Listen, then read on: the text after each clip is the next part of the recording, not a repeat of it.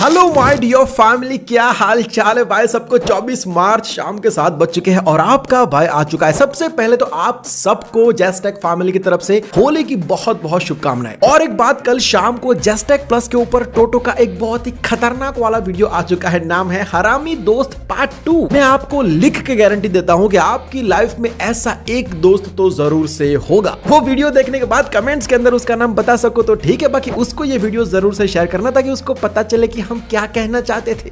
Anyway, आज का अपना एपिसोड नंबर है टू टू फाइव तो चलो शुरू करते हैं। तो आज की हमारी सबसे पहली अपडेट आ रही है ऋतिक रोशन और जूनियर एनटीआर की मूवी वॉर टू से। जहाँ हमने आपको पहले भी बताया था कि करंटली वॉर टू के शूट्स चल रहे हैं और ऋतिक रोशन भी शूटिंग का पार्ट है। तो अब ये खबर आ रही है कि देवरा के गोवा शेड्यूल के बाद जूनियर एनटीआर भी नेक्स्ट मंथ यानी कि अप्रैल के अंदर वॉर टू के शूट्स को ज्वाइन कर लेंगे। और अगले सौ दिन तक जूनियर एनटीआर वॉर टू के शूट्स में ही बिज़ी रहेंगे। साथ ही वॉर टू से ये भी न्यूज़ आ रही है कि अयान मुखर्जी और आदित्य चोपड़ा ने प्रीतम को अप्रोच किया है वॉर टू के म्यूज़िक एल्बम के लिए। हालाँकि मूवी को रिलीज़ होने में अभी डेढ़ साल का वक्त बाकी है तो काफ़ी लंबा वेट करना पड़ेगा हमें मूवी देखने के लिए। अगली खबर आ रही है रॉकिंग स्टार यश और डायरेक्टर गीतू मोहनदास की मूवी टॉक्सिक से। जहाँ मूवी से बहुत से रूमर्स आ रहे हैं कि मूवी में करीना कपूर को कास्ट किया गया है। उसके बाद कुछ लोगों ने रिपोर्ट किया कि साय पल्लवी और श्रुति हसन भी मूवी का हिस्सा है। इतने सारे रूमर्स और फेक न्यूज़ को देखकर मूवी के प्रोड्यूसर्स ने एक स्टेटमेंट दिया है, जिसमें उन्होंने कहा कि मूवी की कास्टिंग के अराउंड काफ़ी मिस इन्फॉर्मेशन और थियरीज चल रही है। उन्होंने ये भी कहा कि मूवी को लेकर ऑडियंस की एक्साइटमेंट वो समझते हैं भाई। लेकिन इस समय लोग किसी भी रूमर पर बिलीव ना करें। इसी के साथ उन्होंने ये भी कहा कि मूवी की कास्टिंग प्रोसेस कंप्लीट होने वाली है बहुत जल्द। नेक्स्ट अपडेट है टाइगर श्रॉफ की नेक्स्ट मूवी रैम्बो से, जहाँ पहले तो रोहित धवन और सिद्धार्थ आनंद इस मूवी की फिल्मिंग अप्रैल 2024 में शुरू करने वाले थे। लेकिन मूवी का पहला शेड्यूल अब डिले हो चुका है बजट इश्यूज़ की वजह से, जहाँ इस मूवी का बजट अप्रोक्स डेढ़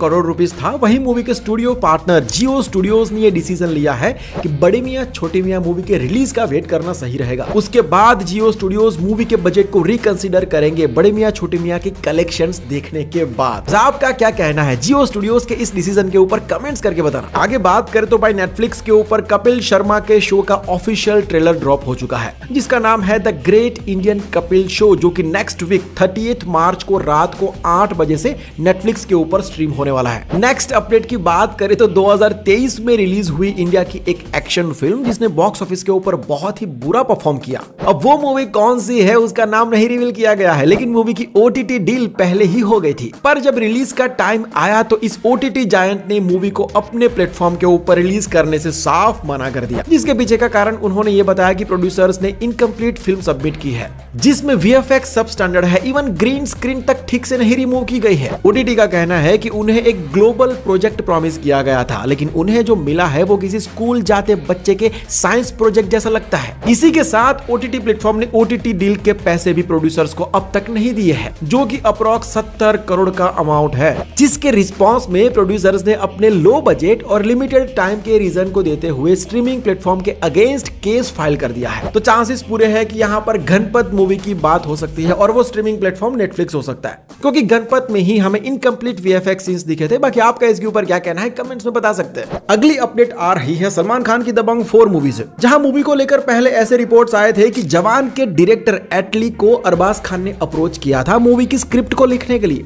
जिसके ऊपर रिसेंटली अरबाज खान की एक स्टेटमेंट आई है कि मिलना छोड़ो, उन्होंने तो कभी एटली को देखा तक नहीं है। वैसे भी फ़िलहाल तो दबंग फोर सलमान खान के शेड्यूल में दूर दूर तक दिख नहीं रही है, लेकिन दबंग थ्री का बॉक्स ऑफ़िस के ऊपर परफॉर्मेंस कुछ खास अच्छा नहीं रहा था। तो उसको देखकर आपको क्या लगता है, भाईजान दबंग फोर करेंगे कि नहीं करेंगे? और उससे बड़ा सवाल आप लोग दबंग फोर के लिए एक्साइटेड हो कि नहीं हो कमेंट्स करके बताना। नेक्स्ट अपडेट है रामचरण की मूवी गेम चेंजर से, जहाँ last week Amazon prime video ने अपने मुंबई इवेंट में रिवील किया था 29 मूवीज़ के ओटीटी राइट्स उन्होंने खरीदे हैं। जिनमें से गेम चेंजर भी एक मूवी थी, यानी कि थिएटर रिलीज़ के बाद अमेजॉन प्राइम पर मूवी आने वाली है। तो अब मूवी के ओटीटी राइट्स के नंबर भी सामने आ रहे हैं, जहाँ बताया ये जा रहा है की इस मूवी के ओटीटी राइट्स को डेढ़ करोड़ रूपीज में खरीदा गया है। मज़े की बात यह है की ना मूवी का कोई टीजर ड्रॉप हुआ है, ना first look poster even release date तक अनाउंस नहीं की है इन लोगों ने। इसे कहते हैं मूवी की डिमांड और हाइप। हालाँकि सुनने में ये आ रहा है कि मूवी का हिंदी वर्जन जी फाइव के ऊपर आएगा। वहीं आगे बात करें रणबीर कपूर की रामायण मूवी से तो फिर से मूवी की कास्ट को लेकर कुछ बातें सामने आई है, जहाँ बताया ये जा रहा है कि एक्टर रवि दुबे मूवी के अंदर लक्ष्मण जी का किरदार करने वाले हैं। हालाँकि अभी के लिए ये सिर्फ़ एक रूमर है, जिसके ऊपर ट्रस्ट करना, ना करना आपके ऊपर है। बाकी मैं तो यही कहूँगा यार की मूवी के ऑफिशियल अनाउंसमेंट वाली न्यूज़ का ही ठिकाना नहीं है की वो सच है या सिर्फ़ रूमर तो बाकी रूमर्स के ऊपर ट्रस्ट ना ही करे तो बेटर है।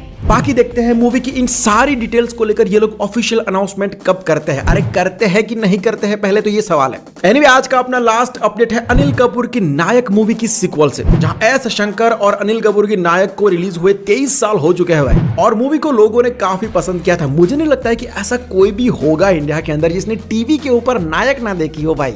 आप में से कितने लोगों ने टीवी के ऊपर नायक का एक भी सीन देखा है? कमेंट करके बताना कि मैंने देखा है। एनीवे anyway, तो रिपोर्ट ये किया जा रहा है कि सिद्धार्थ आनंद की मार्फ्लिक्स एंटरटेनमेंट के बैनर के अंडर नायक का सिक्वल बन रहा है जिसको डायरेक्ट कर रहे हैं मिलन लुथरिया जिन्होंने इससे पहले बादशाह और once upon time in Mumbai जैसी मूवीज़ को डायरेक्ट किया है। अब देखो उस टाइम पर नायक बनी थी तो मूवी ने बहुत सारे लोगों की धोती खोली थी। तो आपको क्या लगता है नायक टू के अंदर आज के कौन से कौन से मुद्दों को कवर किया जाएगा और क्या क्या खोला जाएगा? कमेंट्स करके ज़रूर से बताना। यार ये बहुत इंपोर्टेंट क्वेश्चन है भाई। ओके देर आज की बातें यही तक रखते हैं। उम्मीद है आपको वीडियो पसंद आया होगा। अगर पसंद आया है तो यार एक लाइक तो कर ही सकते हो। अगर आपको हमारा काम अच्छा लगता है तो रोज शाम को सात बजे बिना नोटिफिकेशन के इंतज़ार किए आप आ जाया करो। अपने सिनेमा लवर दोस्तों के साथ वीडियो को शेयर करना। मैं मिलता हूँ कल शाम को सात बजे। This is Jai cinema watching just cinema bye take care Jai Hind